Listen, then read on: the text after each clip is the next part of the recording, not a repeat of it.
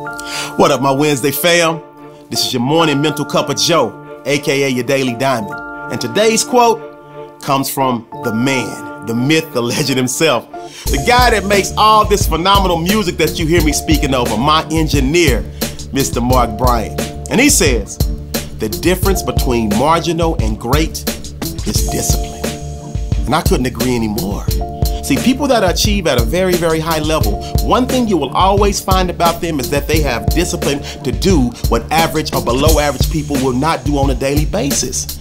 They wake up early, they go to bed late.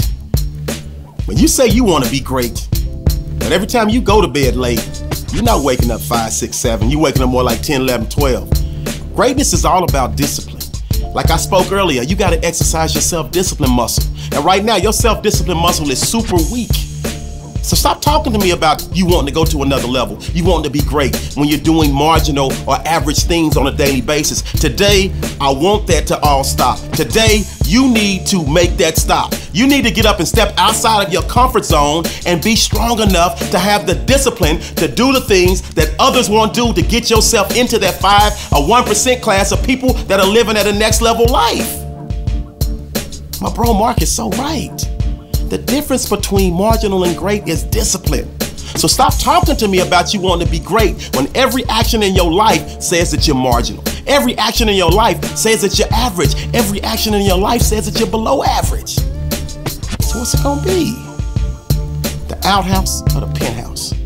The choice is yours. So I need you to do something right now that makes you a little uncomfortable, that you really don't want to do, do it anyway. And that's how you start making those, taking those baby steps and going from marginal to great and from great to phenomenal. You know what we're trying to do.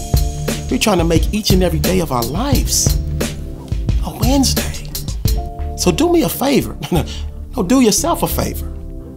Go be great and elevate. Because this is a great day to win.